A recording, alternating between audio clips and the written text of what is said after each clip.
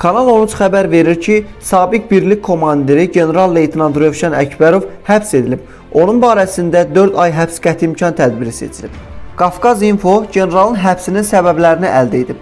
Belə ki, bir müddət əvvəl ordudan ehtiyata buraxılan Rövşən Əkbərov qəsdən adam öldürməkdə ittiham olunur. Bu barədə vaxtı ilə mətbuatda məlumat da yer alıb. Dövrü mətbuatda vaxtı ilə yayılan məlumatlara görə cinayət işi 19 il əvvəl Ukraynanın paytaxtı Kiyevdə baş verib. Məlumata görə Rövşən Əkbərov Kiyevdə iş adamı Elçin Əliyevi şəxsi münasibətlər zəminində qətlə yetirib. Vaxtı ilə mətbuatda yayılan məlumatlara görə Azərbaycanlı iş adamının ürək nahiyəsindən hərbi bıçaqla zərbə endirmişdir.